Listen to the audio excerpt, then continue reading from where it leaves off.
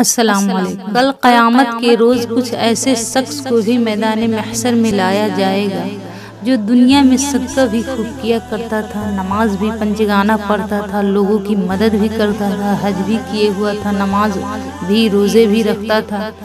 इन सब के बावजूद उनकी सारी नेकियों को उनके मुँह पे फेंक दिया जाएगा और अल्लाह ताला फरिश्तों को हुक्म देगा कि इसे घसीटते हुए जहन्नम में डाल और वह शख्स चिल्लाता हुआ कहेगा अय अल्लाह, हमने तो तेरी राह में कितना माल खर्च किया है। सदका किया है, जक़ात खैरात भी किए हैं, नमाज़, रोज़े भी रखे हैं, सब कुछ मैंने दुनिया में तेरे लिए किया फिर भी मुझे जहन्नम में क्यों डाला जा रहा है? अल्लाह ताला फरमाएगा हाँ तूने मेरी राह में बहुत रुपया, बहुत माल खर्च किया है, लेकिन मेरे लिए नहीं राज़ी के लिए नहीं, तुम अपने दिखावे के लिए, नाम के लिए खर्च किया है, ताकि लोग तुझे मालदार कहे। तो मैंने तुझे दुनिया में ही सबसे मालदार कहलवा दिया है, और तूने नमाज़ मेरे राज़ी के लिए नहीं, बल्कि नमाजी कहलवाने के लिए पढ़ा है। ऐ शख्स, तूने नेकियाँ तो बहुत किया है, लेकिन मेरे राज़ी के लिए नहीं, दुनिया को दिखाने के लिए, ताकि दुनिया में तुझे लोग नमाजी कहे, हाजी कहे, मालदार कहे। तेरा नाम हो शोहरत हो इज़्ज़त हो। और मैंने भी तुम्हारे हर दिखावे की नेकी का इनाम दुनिया में ही दे दिया है। तुझे सबसे मालदार कहलवा दिया नमाजी कहलवा दिया हाजी कहलवा दिया। ऐ शख्स तूने अगर एक रुपया भी मेरी राह में बिना दिखावे के खर्च करता तो आज तेरे सब नेकी से ज़्यादा इस नेकी का पलड़ा भारी होता।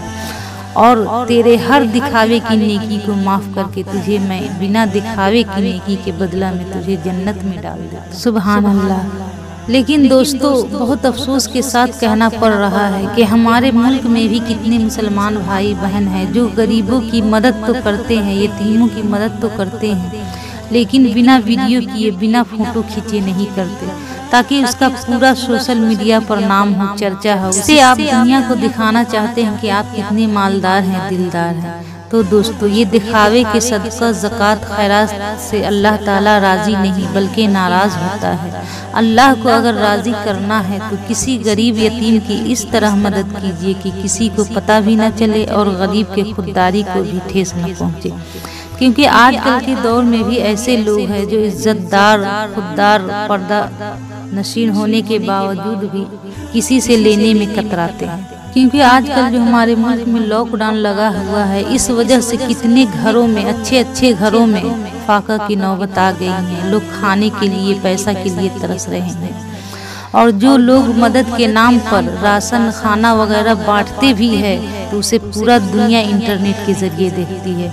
इसलिए पर्दापोश, इज्जतदार, खुददार लोग ज़रूरत होने के बावजूद भी मदद नहीं लेना चाहते हैं, क्योंकि इसकी खुददारी को ठेस पहुँचती है और उसे पूरा दुनिया देखती है। अगर आपको मदद ही करना है तो ऐसी मदद कीजिए कि गरीब की मदद भी हो जाए और किसी को पता भी ना चले। और किसी की खुददारी को ठेस भी न पहुँचे। इस तरह से आपसे आपका खुदा भी राज़ी होगा और वह इंसान भी जिसकी आपने मदद की है। तो दोस्तों, किसी भी गरीब की मदद करते हैं तो प्लीज़ उसका मज़ाक मत बनाइए। तो दोस्तों हम हम गरीबों की मदद करें, यतीमों की मदद करें तो सिर्फ़ खुदा को राज़ी करने के लिए, किसी इंसान को राज़ी करने के लिए नहीं। दोस्तों अगर ये वीडियो आपको अच्छा लगा हो तो प्लीज़ आप मेरे चैनल को सब्सक्राइब करें और ज़्यादा से ज़्यादा शेयर करें लाइक करें। अस्सलाम वालेकुम